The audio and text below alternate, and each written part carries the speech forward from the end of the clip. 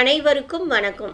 நம்ம இப்போ dynamic ஹாஸ்ட் configuration protocol அதாவது டிஹெச்சிபினா என்ன அப்படிங்கிறத வந்து நம்ம பார்க்க போகிறோம் இந்த டிஹெச்சிபி அப்படிங்கிறது இன்டர்நெட் ப்ரோட்டோகால் லேயரில் சப்போர்ட்டிவாக இருக்கக்கூடிய ஒரு நெட்வொர்க் மேனேஜ்மெண்ட் ப்ரோட்டோக்கால் இந்த டிஹெச்சிபி ப்ரோட்டோகாலோட முக்கியமான ஒர்க் என்னன்னு பார்த்தோன்னா அது வந்து ஒரு கம்ப்யூட்டர் நெட்ஒர்க்கில் என்டர் ஆகிறப்போ ஐபி அட்ரஸ் அசைன் பண்ணுற ஒரு ஒர்க்கை வந்து பண்ணுது.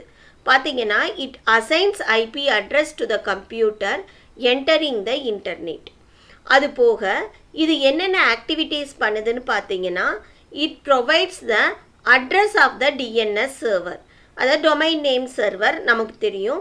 So address of the domain name server provide பண்ணுது.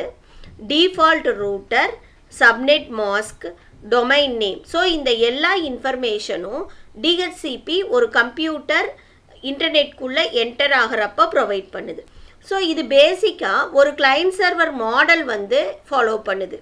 எப்படின்னு பார்த்தீங்கன்னா இப்போ ஒரு கிளையண்ட் இருக்குது அந்த கிளைண்ட் வந்து நெட்ஒர்க்கோட கனெக்ட் பண்ணணும் அப்படின்னு சொன்னால் அது டிஹெச்சிபி டிஸ்கவருங்கிற மெசேஜை வந்து அனுப்புது.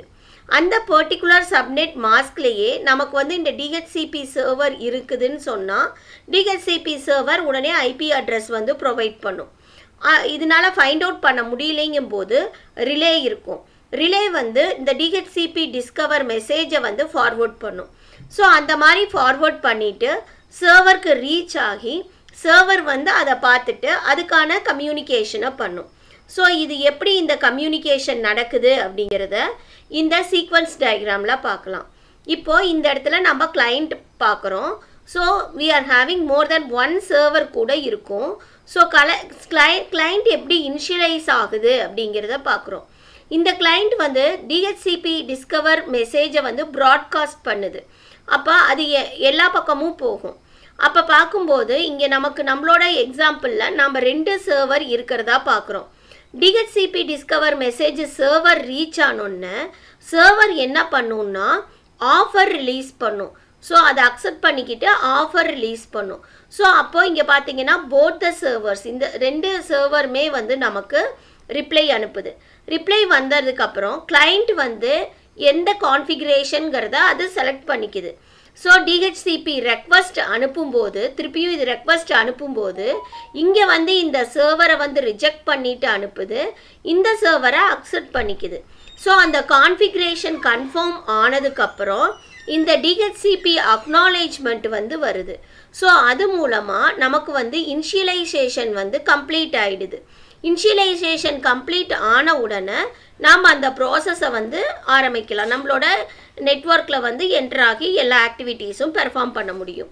ஸோ அதுக்கப்புறம் நம்ம அந்த ஆக்டிவிட்டீஸ் பெர்ஃபார்ம் பண்ணதுக்கப்புறம் நம்ம ரிலீஸ் பண்ணிடணும் அப்போ ரிலீஸ் பண்ணிட்டோன்னு சொன்னால் அந்த கான்டெக்ஸ்ட்டை வந்து டிஹெச்சிபி டெலீட் பண்ணிடும் அது அதோட ஒர்க்கு இப்போது இந்த டிஹெச்சிபி வந்து அசைன் பண்ணுது அதுக்கப்புறம் ஃபைனலாக டெலீட் பண்ணுதா அப்படின்னு கேட்டால் இன்னமும் நிறைய ஆப்ரேஷன்ஸ் வந்து அது பெர்ஃபார்ம் பண்ணுது. என்னன்னு பார்த்தோன்னா கண்டினியூஸாக மானிட்டர் பண்ணிகிட்ருக்கு நோடு வந்து டைம் டு டைம் இன்ஃபார்ம் பண்ணணும். அதோட அவைலபிலிட்டியை இன்ஃபார்ம் பண்ணணும். அப்படி அவைலபிலிட்டியை வந்து இன்ஃபார்ம் பண்ணலைன்னா நோடு நாட் அவைலபிள் அப்படின்னு எடுத்துக்கிட்டு அந்த கான்ஃபிகரேஷனை ரிலீஸ் பண்ணிடும் நோடு நாட் அவைலபிள்ங்கிறது எப்போ வரும்னு பார்த்தோன்னா அந்த நோடு வந்து வேறு என்விரான்மெண்ட்டுக்கு மூவ் ஆயிட்டாவோ இல்லை வந்து கிராஷ் ஆயிட்டாவோ நமக்கு நோடு நாட் அவைலபிள்ங்கிற மாதிரி டிஹெச்சிபி வந்து நமக்கு எடுத்துக்கிட்டு போயிடும் அடுத்தது இது வந்து it acquires the care of address mobile நோடோட care of அட்ரஸையும் இது வந்து டிஹெச்சிபி வந்து நமக்கு மெயின்டைன் பண்ணிகிட்டு இருக்கும். அதே மாதிரி இப்போது D DHCP client side and also DHCP server side ரெண்டு சைடுமே ஆத்தென்டிகேஷனோட தான் இந்த டிஹெச்சிபியோட ஒர்க்கிங் வந்து இருக்கும். Okay thank you